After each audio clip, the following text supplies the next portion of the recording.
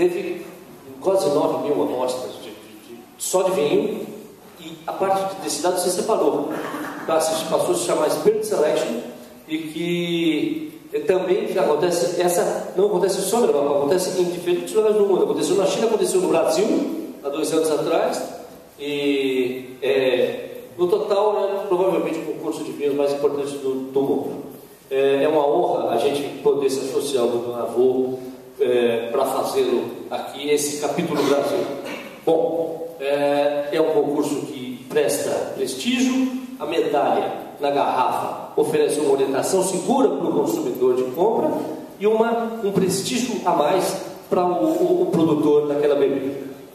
É, queria falar nesse tom que nós estamos, que nós temos gente aqui de, todo, de todos os estados, temos gaúchos, temos mineiros, temos todos bem que é uma honra. Eu tenho orgulho de ser brasileiro e eu acho que nós trabalhamos e nós vamos construir um país bacana independente de tudo que acontece em muitos lugares que a gente serve aí. Então, é, vamos começar a ver o resultado de todo esse esforço, que são as medalhas que o trabalho de vocês, produtores, conquistaram, conquistou.